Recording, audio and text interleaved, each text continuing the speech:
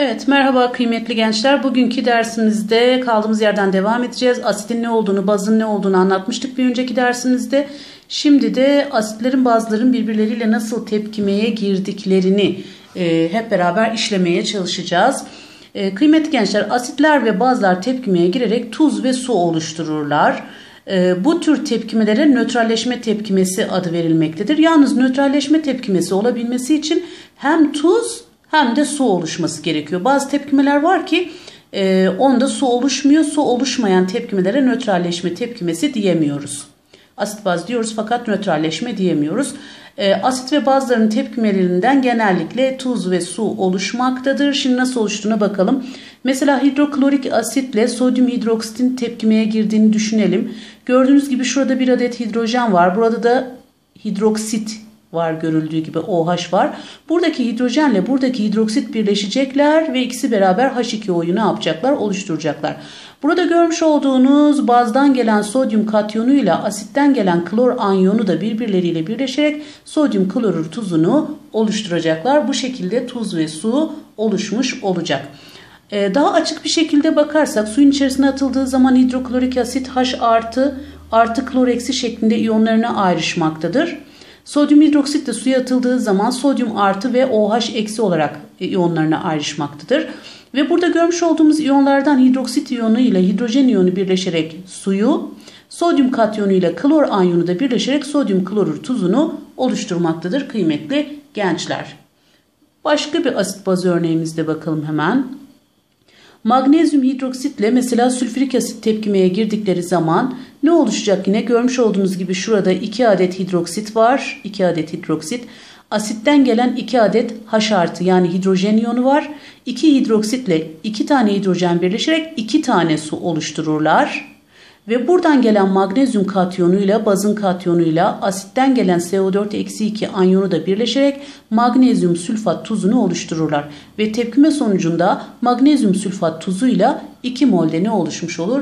H2O yani suyumuz oluşmuş olur ve bu bir nötralleşme tepkimesidir. Burada dikkat edilmesi gereken şey biraz önce de söylediğimiz gibi eğer su oluşumu yoksa nötralleşme tepkimesi diyemiyoruz. Mesela amonyak yani NH3 Asitle verdiği tepkimelerde biliyorsunuz NH3 bir bazdır. Asitlerle verdiği tepkimelerde su oluşmamaktadır. Sadece tuz oluşmaktadır. Bu sebeple NH3'ün tepkimeleri nötralleşme tepkimesi değildir. Çünkü su oluşturmamaktadır. Örneğin NH3'ün hidroklorik asitle tepkimesine bakacak olursak bu hidrojen de klor da NH3'ün yapısına katılırlar ve NH4Cl amonyum klorür adını verdiğimiz tuz oluşur ve su oluşumu görüldüğü gibi olmamaktadır. Su oluşumu olmayınca bu tepkimeye biz nötralleşme tepkimesi ne yapamıyoruz diyemiyoruz kıymetli gençler. Peki bir asitle bir baz reaksiyona girerken tepkimeyi verirken ya da bu tepkimeler yazılırken tepkimenin denk olabilmesi için neler yapılması gerekiyor? Buna da hemen göz atalım hep beraber e, bunu da anlamaya öğrenmeye çalışalım. Şimdi bu tepkimelerin denk olabilmesi için giren hidrojenin mol sayısıyla tepkimeye giren OH yani hidroksit iyonunun mol sayılarının eşit olması gerekmektedir. Denkleştirmeyi bunlar üzerinden yapacağız. Mesela hidroklorik asitle NOH tepkimeye girdiği zaman bakın bunda bir tane hidrojen var. Bazımızda da bir tane hidroksit var. Dolayısıyla birebir oldukları için bunun bir molü ile bunun bir molü tepkimeye girerler. Sodyum, klorür ve bir mol de H2O şu bünyeye hidrojen katılarak bir mol H2O tep e, reaksiyondan çıkmış olur kıymetli gençler. Şimdi bakalım eğer giren tepkimeye giren HCl ise onunla beraber giren bazımız ise alüminyum hidroksit ise yani 3 tane hidroksit bulunduran bir bazsa nasıl karar vereceğiz? Şimdi bakıyorum HCl'de bir tane hidrojen var. Alüminyum hidroksitte ise 3 tane hidroksit var. Bu durumda giren hidrojen sayısının da buradaki hidroksit sayısına eşit olmasını isteyeceğim için HCl'nin başına ne koymalıyım? 3 koymalıyım kıymetli gençler. Şimdi tepkimem denk oldu. 3 tane hidroklorik asitle bir tane alüminyum hidroksit tepkimeye girerler. Bundan 3 tane H gelir. Bundansa zaten 3 tane hidroksit var. 3 tane H artı ile 3 tane hidroksit birleşerek 3 tane H2O'yu oluştururlar kıymetli gençler. Geriye ne kaldı? Burada alüminyum katyonu kaldı. Alüminyum artı 3 katyonu kaldı. Burada ise klor anyonu kaldı. Başında da 3 olduğu için 3 tane klor anyonu kaldı. O zaman bu demek oluyor ki bir tane alüminyumla 3 tane klor birleşecek. O zaman alüminyum klorür bileşiği bu şekilde bir alüminyuma karşılık 3 tane klor şeklinde birleşerek tuzumuzu oluşturmaktadır. Hemen bir tepkimeye daha bakalım. Mesela H2SO4 ile KOH tepkimeye girsin. Şu ikinin burada olmadığını düşünelim. Gelip bakıyorum hemen buradaki asitimde iki tane hidrojen var. Fakat buradaki bazımda görüldüğü gibi bir tane hidroksit var. E buradaki bazımda da iki tane hidroksit olması gerekiyor. Çünkü ne dedik? Asitin hidrojeni ile bazın hidroksiti eşit mi olsaydı olmalıdır. O zaman bu bazın başına buradaki 2'yi denkleştirmek amacıyla 2 koyuyorum. E, dolayısıyla şimdi asitten 2 tane hidrojen geldi. Bazımızdan da başına 2 koyduğum için 2 tane OH geldi. Birleştiler ve 2 tane su oluşturdular. Hemen gelip 2 tane suyumu yazıyorum. Geriye ne kaldı? Tuzumuz kaldı. Bazdan katyon gelecek. Önce katyon yazılır. Kaç katyon gelecek? K 2 tane gelecek. Potasyum 2 tane gelecek. Hemen K2 yazdım. Asitimden de bir tane sülfat gelecek. Hemen K2SO4 yani potasyum sülfat bileşiğimiz ne yapmış oldu? Oluşmuş oldu kıymetli gençler. Hemen bir sonrakine bakalım. Diyelim ki H3PO4 ile yani 3 değerlikli bir asitle 3 tane hidrojeni bulunan bir asitle 3 ee, tane de e, hidroksiti bulunan bir baz. Bu da 3 değerlikli asit, bu da 3 değerlikli baz. Dolayısıyla bundaki hidrojen sayısı 3, bundaki de hidroksit sayısı 3.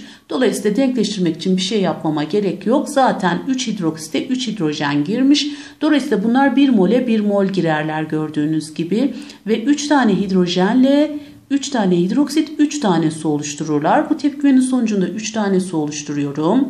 Geriye ne kaldı bakıyorum. Buradan bir alüminyum kaldı. Buradan da bir tane görüldüğü gibi fosfat kökü kaldı. Hemen geliyorum burada e, alüminyum fosfat bileşiğim ne yapmış oldu? oluşmuş oldu birebir olacak şekilde kıymetli gençler. Bir bileşiğe daha bakalım. Mesela diyelim ki H2SO4 ile alüminyum hidroksit girdiler. H2SO4'ün değerliliği 2, çünkü 2 tane hidrojen içeriyor. Alüminyum hidroksitin değerliği ise 3 çünkü 3 tane hidroksit içeriyor. Böyle bir tepkimede nasıl hidrojen sayısını ve hidroksit sayısını birbirine eşitleyeceğim. Şöyle e, bazın 3'ü ile 3 değerli asiti çarparım. Asitin 2 değerliyle de bazı çarparım. Ee, dolayısıyla bu 2 bunun başına katsayı olarak bu 3 de bunun başına katsayı olarak geçtiğinde tepkimem denkleşmiş olacak. Şöyle bakalım 3 tane H2SO4 ile şunu geçirdim bunun başına eşit olması için. Çünkü 2 kere 3 6 eder. Bunun başına da 2 koyduğumuz zaman şurası 3'tü pardon çocuklar düzeltelim hemen burayı. 2 e, kere 3'ten burası da ne yapar yine 6 eder. Dolayısıyla 6 hidrojenle 6 hidroksit girmiş olur ve 6 tane su oluşmuş olur. Tam olarak ne yaptık? Bunda 3 hidroksit, bunda 2 hidrojen bulunduğu için bunun 3'üyle burayı, bunun ikisiyle burayı kesir denkleştirir gibi tıpkı çarptık ve ikisinden de 6'şar mol hidroksit ve hidrojen girmesini sağlamış olduk. Böylece de 6 mol su oluştu. Peki tuzumuz ne olacak burada? Hemen tuzumuza bakalım. Görüldüğü gibi buradan 2 tane alüminyum katyonu girmiş. O zaman Al2 olur. Buradan da görüldüğü gibi 3 tane sülfat girmiş reaksiyona. O zaman sülfatta 3 tane olur. Parantez içerisinde sülfatın 3'ünü de yazarım. Al2SO4 3 tuzunu, alüminyum sülfat tuzunu ne yapmış olurum? Elde etmiş olurum kıymetli gençler. Demek ki denkleştirirken dikkat edeceğimiz şey asitten gelen hidrojenin mol sayısıyla bazdan gelen hidroksitin mol sayısı eşit olmalı. Bunu eşitlemek için gerekli katsayılarla çarpma yapabiliyoruz kıymetli gençler. Şimdi bakalım şuraya. Acaba tam nötralleşme ne demektir? Bunu hep beraber ne yapalım görmeye çalışalım. Kıymetli gençler tam nötralleşme demek e, bir asitle bazdaki hidrojen ve hidroksitin mol sayısının eşit olması tam nötralleşmenin gerçekleştiği anlamına gelmektedir. Örneğin hidroklorik asitle NOH'ın tepkimesine bakalım. Burada hidrojen sayısı 1, burada OH sayısı 1. Bire birler. Dolayısıyla bunu denkleştirmeme gerek yok. Zaten bire bir girmeleri gerekiyor. Dolayısıyla şu hidrojenle şu OH birleşerek 1 mol H2O'yu, şu sodyumla şu kloru da birleşerek sodyum klorür tuzunu oluştururlar. Dolayısıyla denk tepkimeme göre 1 mol hidroklorik asitle 1 mol NOH tepkimeye girer. 1 mol sodyum klorür oluşur, 1 mol de H2O oluşur. Eğer hidroklorik asit 2 mol girecek olursa asitin 2 molüne karşılık bu da 2 katına çıkar. Bundan da 2 mol girmesi gerekir. 2 mol hidroklorik asitle 2 mol sodyum hidroksit girer. 2 mol sodyum klorür oluşur. 2 mol de H2O oluşur. Hepsinin 2 katını aldım. Eğer hidroklorik asit yarıya düşecek olursa yarım mol hidroklorik asiti yarım mol sodyum hidroksit denkleştirir denk tepkimeme göre ve bunlardan yarım mol sodyum klorür yarım mol de ne oluşmuş olur? H2O oluşmuş olur. Burada bakın girmesi gereken miktarda girdiği için yani hidrojenin mol sayısı ile OH'ın mol sayısı birbirine eşit olduğu için bu tepkimelerin üçünde de birbirlerini tam olarak nötralleştirirler ve ortam nötr bir ortam olur. pH'da tam 7 olur bu tepkimelerde kıymetli gençler. Çünkü asitin ya da bazın mol sayısı diğerinden fazla değil. Tam girmesi gereken miktarda girmiş o yüzden ortam nötr. Peki sınırlayıcı bileşen varsa yani bir tanesi tamamen harcanıyor fakat diğeri tamamen harcanmıyorsa bu durumda ne olur? Yine bakalım hidroklorik asitle sodyum klorun tepkimesinden pardon sodyum hidroksitin tepkimesinden sodyum klorür ve H2O oluşuyor. 1 mole 1 mol girmesi gerekiyor. Fakat bize başlangıçta 2 mol hidroklorik asit 1 mol sodyum hidroksit verilmiş olsun. Bakalım neler olacak. Sodyum hidroksitin 1 molü harcanırken ona karşılık görüldüğü gibi birebir harcanıyordu bunlar. 1 mol hidroklorik asit harcanır ve hidroklorik asitin 1 molü ne yapacaktır? Artacaktır. Bakın 1 molü harcandı 1 molü arttı. Çünkü 1 mol sodyum hidroksitle ancak 1 mol hidroklorik asit ne yapılmaktaydı? Kullanılmaktaydı. Dolayısıyla burada NOH bittiği için tepkime bitti. Asitin geriye kalan 1 molü harcanamadı. Çünkü onu harcayacak kadar sodyum hidroksit ortamda ne yapmıyor? Bulunmuyor. Bu durumda sodyum hidroksit artmaz, tamamen tükenir ve sınırlayıcı bileşen olmuş olur. HCl ise artar. Peki HCl'nin artması ne demek? Nötralleşme tam gerçekleşememiş. Asitin bir kısmı hala daha bu ortamda bulunuyor anlamına gelir. Ortam HCl arttığı için asidik bir ortam olmuş olur ve pH'da 7'den küçük olur. Asidik ortamlarda pH 7'den küçük olmuş oluyordu.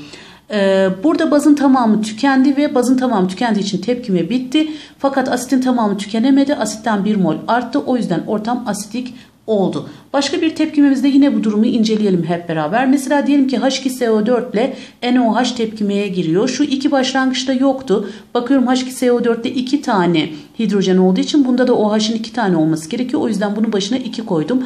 Bu demek oluyor ki 1 mol asitle 2 mol baz reaksiyona girecek. Bunu nötralleştirmek için 2 mol sodyum hidroksit gerekiyor anlamına gelmektedir ve bunun sonucunda 2 hidrojen 2 hidroksit girince 2 mol H2O yani su oluşur. Tuzumuz ne olur? Sodyumdan 2 tane olacak yani Na2, sülfattan da bir tane olacak yani Na2SO4 sodyum sülfat tuzumuz oluşacaktır ve sodyum sülfatın mol sayısı da H2SO4'ün mol sayısına eşit olacak çünkü bundan bir girdiğinde bundan bir çıkıyor. Şimdi bakalım Denk tepkimemde 1 mol H2SO4 girdiğinde 2 mol NOH giriyor ve bunların tepkimesinden bunun e, mol sayısına eşit olacak şekilde e, sodyum sülfat oluşuyor. E, fakat bununkinin 2 katı kadar yani 2 mol su oluşuyor denk tepkimeme göre. E, ve eğer bu iki katına çıkarsa H2SO4'ten 2 mol sokacak olursak reaksiyona bu durumda NOH'dan da bunun 2 katı kadar denk tepkimemde çünkü bunun mol sayısı 2 kat. Bundan 4 mol gerekir o zaman. Ve tuzumuz bunun mol sayısına eşit olduğu için 2 mol tuz oluşur. E, suyumuz ise giren asitin 2 katı kadar olduğu için e, ne yapacaktır? 4 mol suyumuz oluşacaktır kıymetli gençler. Bunlar tam nötralleşmenin olduğu tepkimeler için geçerli. Çünkü buna 1'e 2 gerekiyor, 2'ye de 4 gerekiyor. Nötralleşme tam olmuş, pH tam 7 olmuş. E, ortam asitik ya da bazik değil, nötr. Burada hidrojenin mol sayısı ile OH'ın mol sayısı aynı. Bakalım 2 mol H2SO4'te 2 tane hidrojen olduğu için 2 kere 2 4 tane H artı yapar. Buraya gelip bakalım. Burada da mesela değerlendirdiğimiz zaman NOH'ın içerisinde görüldüğü gibi bir tane olduğu için OH 4 molünde 4 tane olur. O zaman 4 mol hidrojenle 4 mol OH girmiş oldu. Ee, bakın H2SO4 değil içindeki hidrojeni hesapladım ben. Ee, dolayısıyla tam nötralleşme gerçekleşmiş oldu. Yani bunun ikisine bundan 4 girdiği zaman tam nötralleşme gerçekleşmiş oluyor. Denk tepkimeme göre. Şimdi bakalım başka bir reaksiyona. Diyelim ki 1 mol H2SO4'ü ortama koydular. Fakat 2 mol sodyum hidroksit yerine 3 mol sodyum hidroksit koydular. Bu durumda ne olur?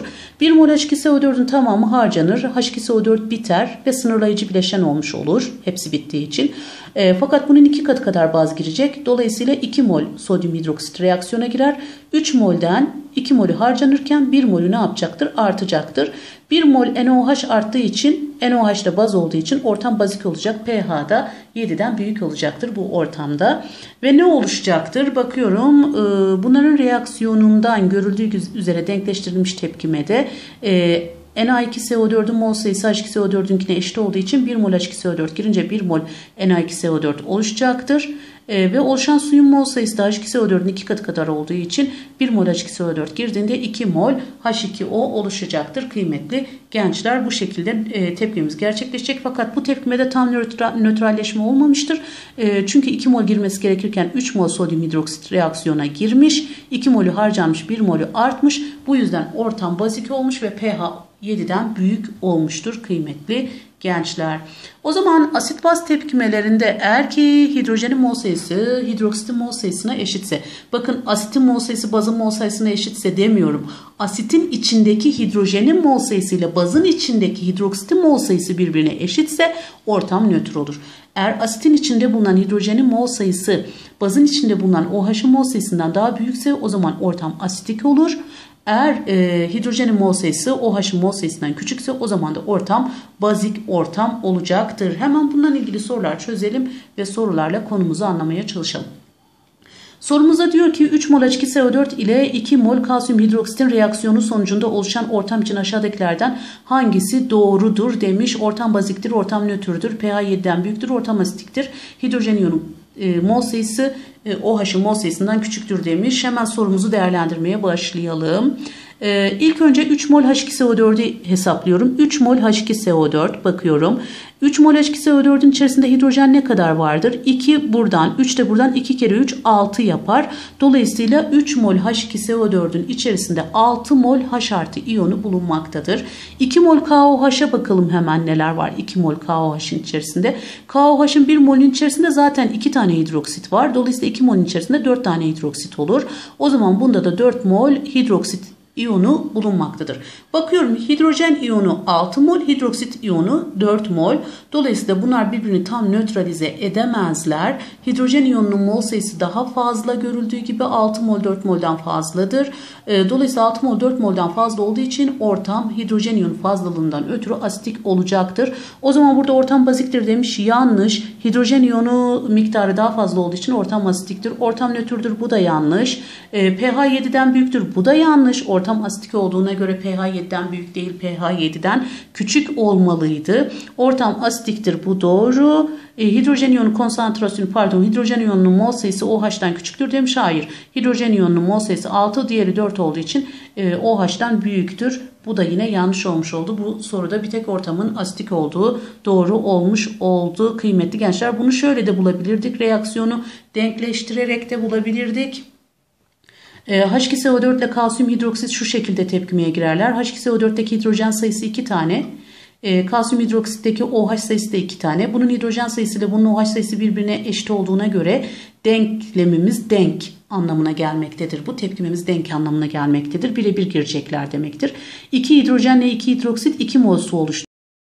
Hemen ikimizi ne yapıyoruz? Koyuyoruz kıymetli gençler. Buradan bir kalsiyum, buradan da bir CO4 geldiğine göre kalsiyum sülfat tuzumuz ne yapacak? Oluşacak burada. Hemen geliyorum. 1 molüne karşılık H2SO4'ün 1 mol kalsiyum hidroksit kullanılır. Eğer H2SO4'ü biz 2 mol yapacak olursak o zaman 2 mol kalsiyum hidroksit kullanılır. Ama bizim ortamımıza 2 mol H2SO4 konulurken 3 mol kalsiyum hidroksit konulmuştu sorumuzda. Dolayısıyla 3 mol kalsiyum hidroksitten ikisi kullanılır bir tanesi ne yapar? Artar. O zaman e, 1 mol kıymetli gençler bakın şuraya pardon 3 mol olan e, H2SO4'tü. Yanlış söyledim ben şimdi.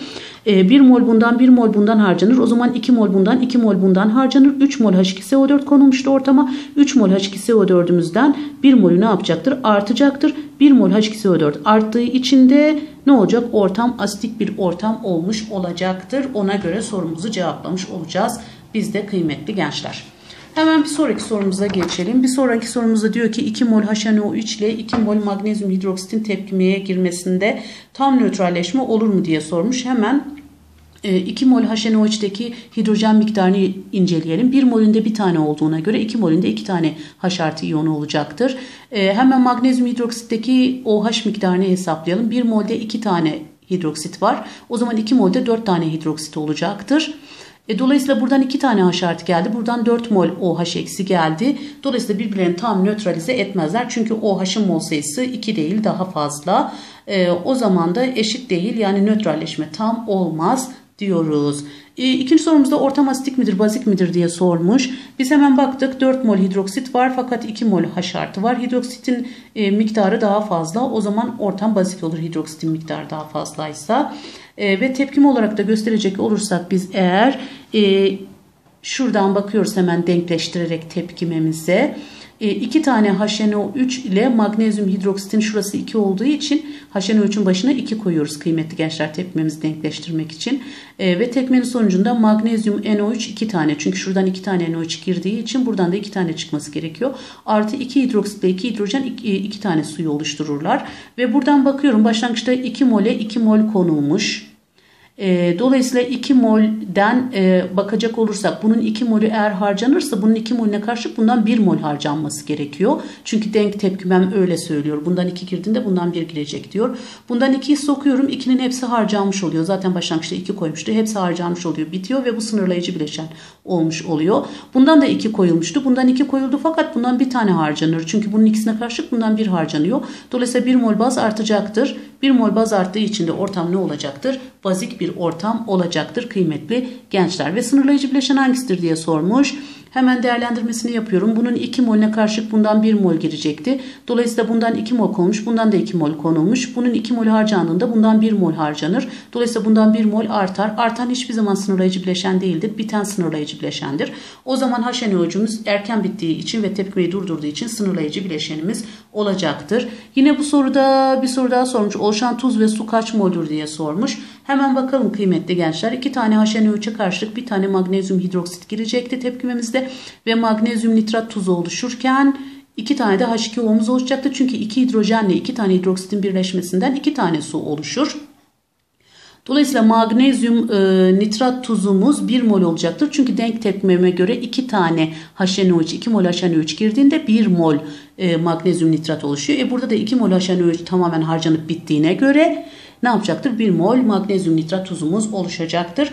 E, ve giren asitin mol sayısı neyse oluşan suyun mol sayısı da o 2 girdiğinde 2 oluşuyor. O zaman asitimiz 2 mol girdiğine göre e, suyumuzda 2 mol oluşacaktır kıymetli gençler. Evet bir sonraki sorumuza geçelim hemen. Bir sonraki sorumuzda diyor ki bize 0,4 mol H3PO4 ile fosforik asit ile 0,7 mol kalsiyum hidroksitin tepkimesi sonucunda aşağıdaki ifadelerden kaç tanesi doğrudur diye sormuş. Bize ortam baziktir, tam nötralleşme olmamıştır, pH 7'den küçüktür, 0,1 mol kalsiyum hidroksit artmıştır diyor. Bakalım hangileri doğru. Hemen şuradan tepkimemizi yapalım. H3PO4 ile kalsiyum hidroksit tepkimeye soktuğumuz zaman bakıyorum bunda hidroksit 2 tane, bunda hidrojen 3 tane. O zaman bunun 3'üyle bunu çarpıyorum. Bunun ikisiyle de bunu çarpıyorum. Dolayısıyla 2 kere 3'ten 6 tane hidrojen iyonu giriyor.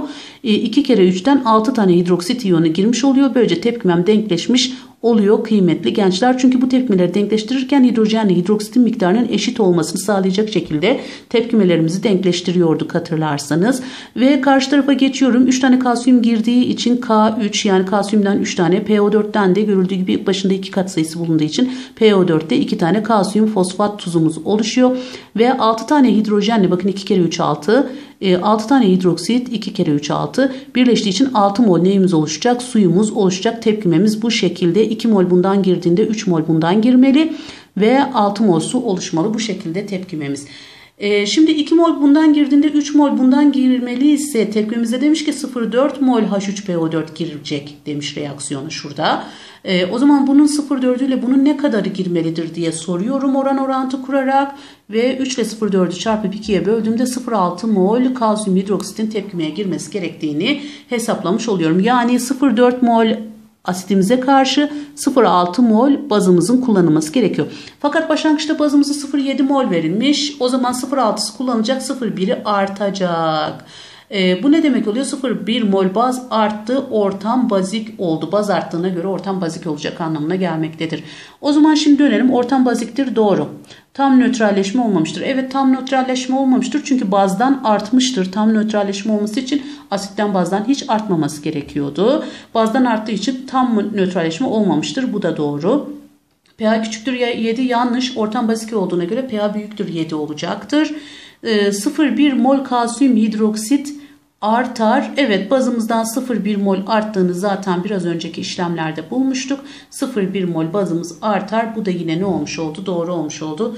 Buradaki ifadelerden 1, 2 ve 4 ifadeleri doğrudur kıymetli gençler. Ve son sorumuza geçelim hemen. Son sorumuzda diyor ki H2SO4 ile potasyum hidroksit reaksiyona girecekler. Yukarıdaki tepkimeye göre 2 mol H2SO4 ile 5 mol KOH tepkimeye girmektedir. Buna göre aşağıdaki ifadelerden hangileri doğrudur? pH büyüktür 7'den OH'ın mol sayısı 1'dir. Oluşan tuz KSO4'tür. Asitin tamamı tükenir. 2 mol tuz oluşur. Bakalım bu ifadelerden hangileri doğruymuş hep beraber değerlendirelim. Şimdi bakalım H2SO4 ile 2 tane KOH tepkimeye giriyorlar ve K2SO4 ile 2 tane H2O çıkıyor tepkimenin sonucunda. Niçin KOH'ın başına 2 koydum? Çünkü 2 tane hidrojenle 2 tane hidroksit girmesi gerekir. Burada bir hidroksit var. Başına 2 koyacağım ki 2 olsun. Bu durumda ne oluşacaktır? 2 tane K yani K2 buradan da bir tane CO4 K2SO4 ve 2 tane de H2O. Çünkü 2 hidrojenle 2 hidroksitten 2 tane H2O ne yapar? Oluşur. Denk tepkimemin rakamlarına bakıyorum. 1 mol asit girdiğinde 2 mol baz girecek. 1 mol tuz oluşacak ve 2 mol de su oluşacak kıymetli gençler. E, dolayısıyla tepkimede ne demiş? 2 mol bundan kullanın demiş. E, asitten 2 mol kullanın demiş. E, bazdan da şurada görüyoruz 5 mol kullanın demiş. Hemen geliyorum. Bundan 2 mol kullanıldığında bak bundan 1 kullanıldığında bundan 2 kullanıldığına göre bundan 2 kullanıldığında bundan 4 kullanılacak anlamına gelir. Ama bundan 5 vermiş ortamımıza. 5 vermişse demek ki bu 5'ten 4'ü kullanılacak. Bir tanesi artacak. Çünkü bunun 2 molüne sadece 4 gerekiyor. Dolayısıyla 2 mol H2SO4 harcanır. 4 mol KOH harcanır. 1 mol KOH artar çünkü orada 5 mol KOH vermişti bize. KOH arttığı için ve KOH baz olduğu için ortamımız bazik olur. 1 ee, mol KOH artmış ve 1 mol KOH'ın içerisinde 1 mol OH vardır. Ve pH burada bazik olacağı için ortam 7'den büyüktür. O zaman gelin yan taraftakilere doğru bakalım. Doğru mu yanlış mı ona bakalım. pH büyüktür 7 demiş. Evet doğru. Ortam bazik olduğunda pH 7'den büyüktür.